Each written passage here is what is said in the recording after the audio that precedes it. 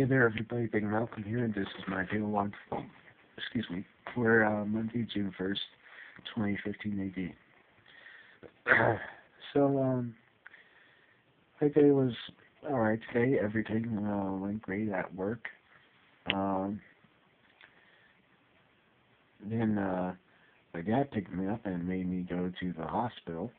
Uh, and then when we were halfway there, he put telling me that uh, I was supposed to spend the night at his place. I was like, wait a second, no. He talked to me about this beforehand, and he tried to give me a bunch of bullshit. I was like, screw you. And so, thankfully, my mom offered to pick me up afterwards, and she did. Uh, people at the hospital were pretty nice. It's a crappy hospital, though. Um,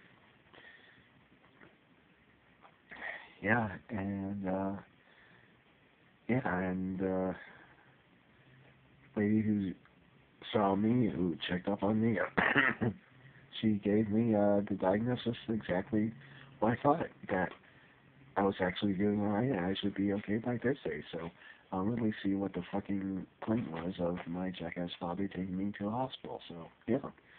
Uh,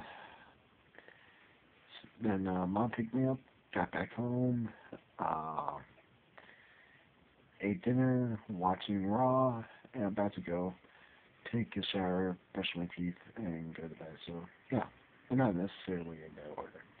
With that being said, there's nothing much else to say except for his big Malcolm saying out, saying peace out. Bye.